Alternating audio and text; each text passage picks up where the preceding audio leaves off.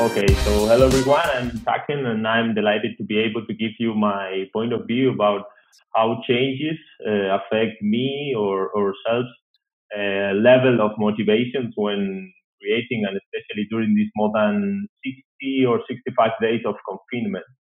Uh, I'm the only one the world came up on. I don't think so. Uh, okay, as you can, as you uh, are gonna see on the next photo, uh, my life is on the street, and now even more. Uh, as a child, as you can see in the photo, I used to spend every weekend and vacation in my family's town. It was a small village with less than 50 people in summer, and probably almost all of my family.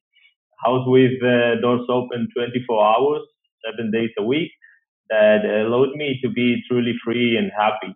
Uh, there I learned about nature, about working in fields. I learned to drive tractors, to make bows for arrows, to feed, everything. I learned everything that makes me happy. Um, now I I live in Madrid. Uh, my house is here, and when I was child and young, uh, I was on the outskirts of the city. We went down to the street to knock on the doors of our friends to spend the afternoon in the neighborhood, riding bikes, making cabins, and doing graffiti as we were a little older. Now, as you can see, I dedicate myself to paint on the street in a professional way. My work allowed me to be in a different place each time all over the world. Also, as you can see on this one, uh, all my free time is spent in the nature. I practice climbing and mountaineering I have been able to visit incredible mountains all over Europe, as this one that is on the Alps, but also on the Himalayas. Last year, I bought a van, and me and my girlfriend used to go uh, out for a few days of sleep in the mountains, do routes, climbing.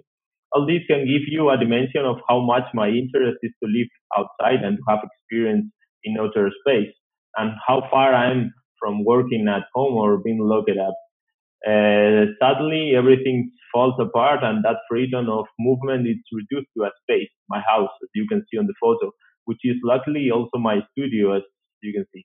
I think something that came in very handy was not knowing exactly how long this situation would last. That made it easier for me uh, to think about the day to day and not to think about the moment when I could be able to go out. Uh, the first days was very, very complicated it was a totally new situation. At this time, the disinformation began. Thousands of news were collected daily, social networks, television, radio.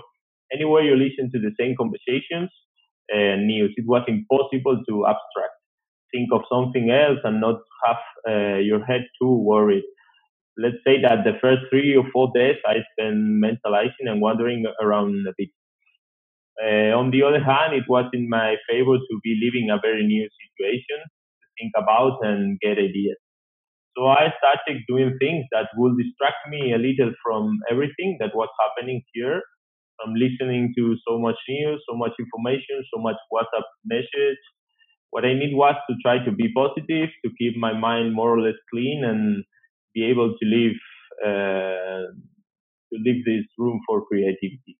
I looked for several books and I wanted to read. I began to write day by day thoughts or feelings I was having. Uh, little by little, I found motivation on a small daily task on or on a small details like reading, play, uh, uh, writing, playing sports, cooking, things that maybe I hadn't paid as much attention to before as I was doing now. It is true that my freedom of movement had been reduced to zero, but I had uh, a lot of time to focus on the things that I had not time before. As you can see on the photo, I have planted some peepers. Uh, I have spent a lot of time contemplating to see things in detail and look more closely. Being able, being able to have time to focus on something motivates me. All these changes that were taking place outside in society generating me new options and ideas to keep me motivated. Those are some small notes I took on my phone day after day. As you can see, day one, day two, day three. Uh, generating a small daily creative routines has helped, has helped me to be productive. Every day I decide to make one or two watercolors, write a listed poem or text, or spend time in the kitchen. But on the other hand, there are there have been social networks. These weeks have been important to me. We all know that they are a double-edged tool and that you have to know how to use them. I have discovered uh, all the side. I have discovered through them that we were all more or less on the same situation and had the same thoughts and feelings, whether we live in Madrid or on the other side of the world. Also, we did not speak the same language. An image was able to convey, convey the same message. Uh, I created this Instagram filter as, uh, through an animation of a flying bird. Everyone could use it from the window and think about that moment when we could be free again. People's response was great, as you can see, and it was shared by many, many people. It is still available, and you can find it on my Instagram account if you want to use it. Uh, in, uh, in the end, it was another way to share my feelings with other people, regardless of where we are. Uh, this is another project that emerged through social network, net, networks and in, in principle consisted of sharing thoughts, ideas, ideas or feelings that we were all having in our homes anonymously with other people from anywhere in the world. We were the platform that would unite these people, sort of like uh, like a pen pal. We have not managed to get this project off the ground, but the work uh, with Janek, Ragat, and I carry out, and just that keep me motivated. After this project, I began to think of possible works that spoke directly about the situation. My mind was more stable and almost used to this situation. They say that um, 21 days of things are enough to get used to do something. And I thought it was a good time to start painting and create work.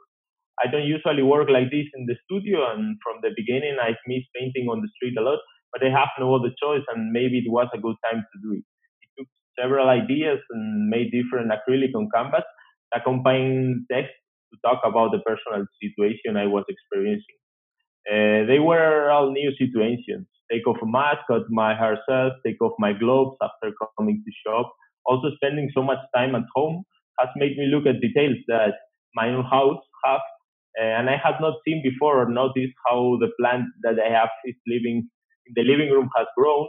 From all, I was drawing conclusions that I continued uh, to write in notes of my mobile. All of this process I have been saving in text notes, in drawing, in photographs, like any of ones you have seen on this presentation. And thanks to that, I am now working on an editorial project that I will release, I think, the next month. It will be ready. I hope so and it's a kind of journal of confinement. In the end, everything has its good sides, hard as it seems, and thanks to this, I have managed to get an interesting project ahead. So thanks to everybody. Thank you all. Thank you very much for listening, and I hope you found it interesting.